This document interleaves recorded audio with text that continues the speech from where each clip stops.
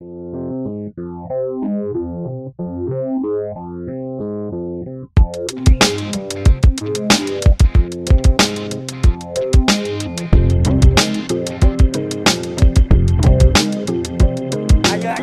tục lại là một pha va chạm nữa ở trên sân.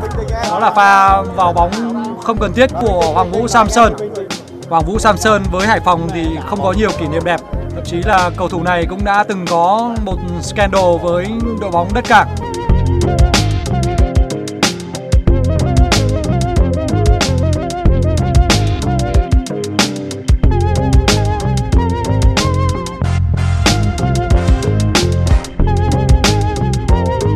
trong thành phần đội bóng thành phố Cảng.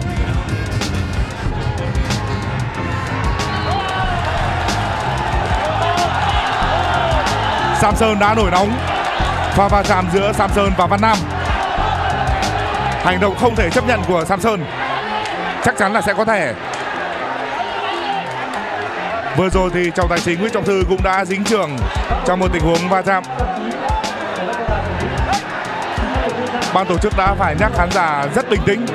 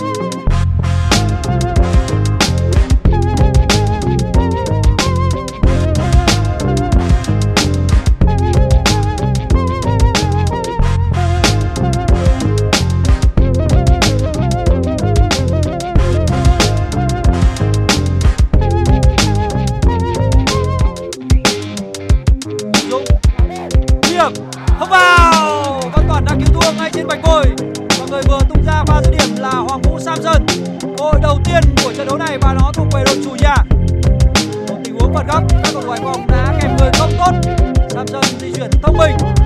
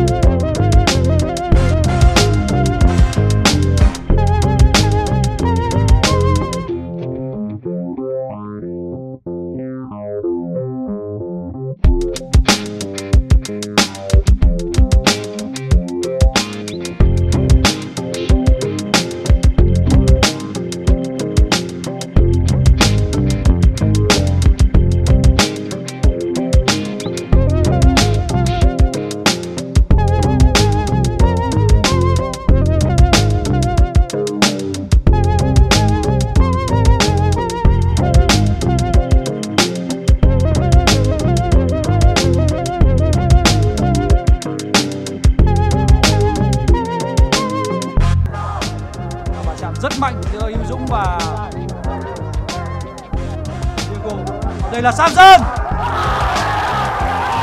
Không có tiếng còi nào vang lên cả. Samson đang ngã. Samson đang ngã sau khi có những tình huống va chạm với Hoàng Vy Sai, nhưng không có tiếng còi nào của trọng tài vang lên. Chúng ta cùng xem lại pha bóng này.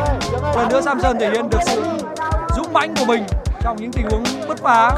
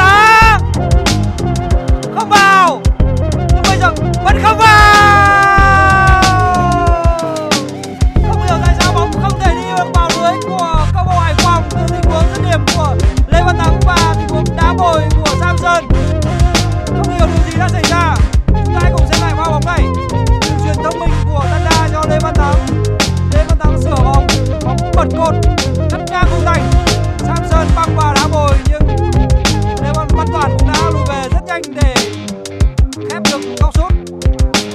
Có vẻ như bóng cũng đã khẽ chạm tay Văn Toàn trong pha bóng này. Văn Toàn đã xuất sắc khi mà hai lần liên tiếp cứu nguy cho Hải Phòng.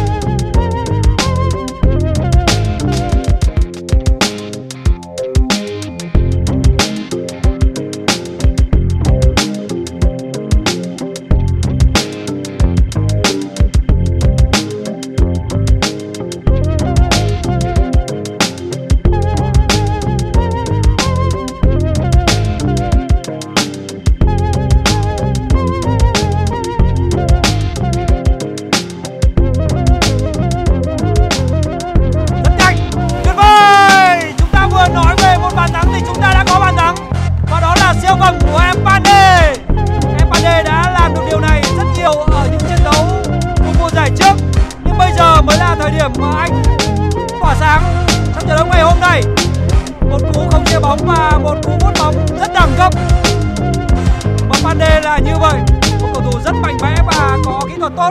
Những cú dứt điểm sấm sét. Có thời điểm mà tuyến giữa cũng như hàng phòng ngự của Thanh Hóa mất tập trung. Ngay lập tức họ phải trả giá bằng pha dứt điểm đẳng cấp của Joseph Mpande Mpande là một cầu thủ có khả năng dứt điểm từ xa rất tốt. Chúng ta hãy cùng xem lại vào bóng này.